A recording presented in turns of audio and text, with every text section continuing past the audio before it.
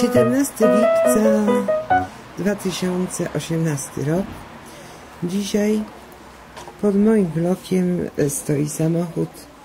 E, Postanowiliśmy z mężem, właściwie ja, sprezentować swoje pianino e, naszej córce i wnuczce Asi. Pianino zostało odremontowane, trwało to 3 miesiące, ponieważ ja w tym czasie chorowałam na półpaśca i stroiciel musiał przerwać reparację, żeby się nie zarazić. Teraz czterech potężnych panów, zabezpieczając to pianino, przewiozą je do mieszkania naszej córki. Bardzo się cieszę, że to pianino zostało odremontowane i że ma nowe jakby życie zyskuje. Być może moja wnuczka będzie chciała też się uczyć grać. Córka chodziła do szkoły muzycznej i dla niej to jest naprawdę cenny prezent. Przynajmniej tak mi się wydaje, by sama mi o tym mówiła, że się bardzo cieszy i że nie może się doczekać na to.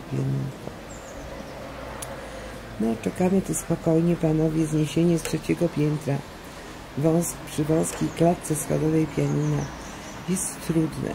Robi to czterech chłopów potężnych, młodych, ale tym niemniej widzę, że się męczą i że jest im ciężko. Proszę? Piętro dopiero jest pokonane. Dopiero jedno piętro jest pokonane. Może ja wejdę tak na klatkę schodową, nie chcę im przeszkadzać, bo nie chcę po prostu, żeby się coś stało. Się urwało, Tak. no.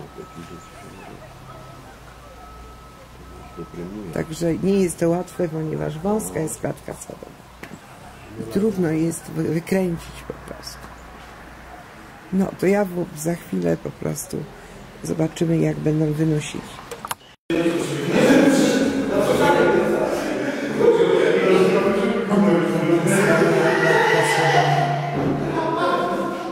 Po każdym większym panowie odpoczywają. Nie chcę tak, że tak powiem, natrętnie się w to Tu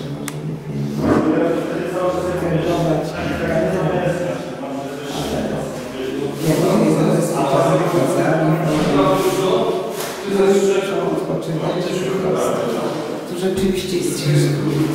Ta klatka solowa jest nie nadająca się do piany. Było to pianino wniesione z wielkim trudem w swoim czasie na to nasze trzecie piętro. Córki klatka schodowa jest szeroka. Teraz takie są schody, więc tam będzie lekko znieść.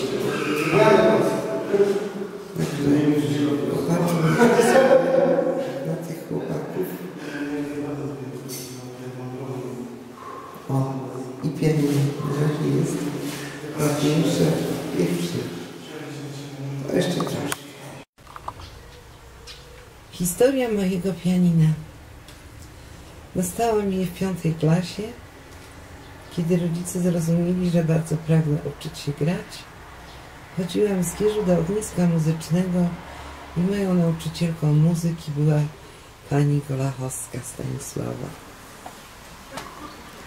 Bardzo charyzmatyczna postać. Uczyła również muzyki w wyższych szkołach łódzkich i średnich. Jej mąż był przyjacielem Karola Szymanowskiego. Także pani Golachowska została ze swoją córką i e, musiała z tą córkę, córkę wychować. E, była bardzo dzielna, bardzo odpowiedzialna, rygorystyczna, ale my się lubiłyśmy i ona zawsze e, wysoko mnie oceniała. Jako dziecko z takiej zapracowanej bardzo rodziny potrzebowałam jednak jakiejś takiej jeszcze przyjaznej duszy, bliskiej osoby, kobiety, która by ze mną rozmawiała i e, opowiadała mi, mm, jak należy żyć. Pamiętam taką niezwykłą historię, bo na muzykę też chodził i mój brat, młodszy o 6 lat i on nie bardzo się garnął do tego grania. Y, Potem sam się nauczył grać na gitarze. Pani Golachowska kiedyś zapytała mnie, kim chciałabym być. No ja oczywiście powiedziałam, że chciałam być aktorką. Więc mówi, wiesz, aktorka to jest kobieta elegancka. A wiesz, co to znaczy być kobietą elegancką? To znaczy być kobietą, która jest zawsze schludna, wymyta i używa dezodorantu. Ja miałam wtedy 11-12 lat i ona mi powiedziała, że po myciu należy używać dezodorantu. Dezodoranty y, w czasach mojego dzieciństwa sprzedawane były jak wody kwiatowe. Miały kolor różowy i w podobnym były flakoniku jak opakowanie od Amol. Ja oczywiście biegałam na podwórku, rodzice wracali późno, więc nie zawsze przychodziłam porządnie wyszorowana na te zajęcia. I po tej uwadze, po tych jej opowieściach, jak należy dbać o higienę osobistą, jak należy y, rozumieć prawdziwą elegancję, ja bardzo sobie to wzięłam do serca i muszę powiedzieć, że rzeczywiście y, starałam się y, zawsze przychodzić na lekcje muzyki, wyszorowana od stóp do głów i e, w czystych ubraniach. O, idzie nasze pianiko. Tak. Zobaczcie, jakie zapakowane w koce. Panowie się bardzo zmęczyli. Zobaczymy, jakie wolą.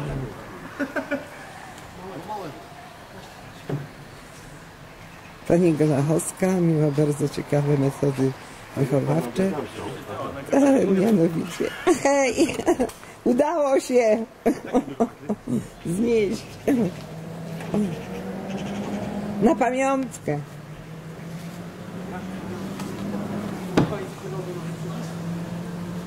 Panowie zdejmują pasy. Zobaczcie, jakie to chłopaki. Wielkie, potężne. Herosi.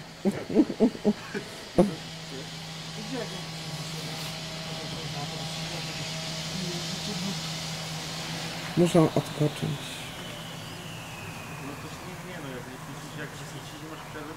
Lepiej, żeby odpoczywali i znieśli w całości i wnieśli, niż żeby się spieszyli, żeby się coś stało.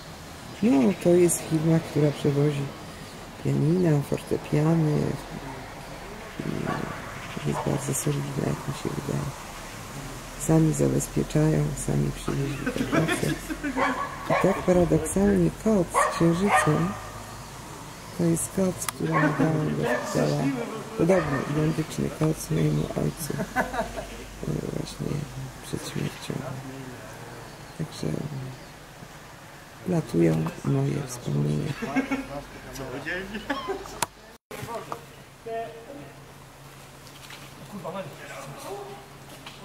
Teraz ich noszę.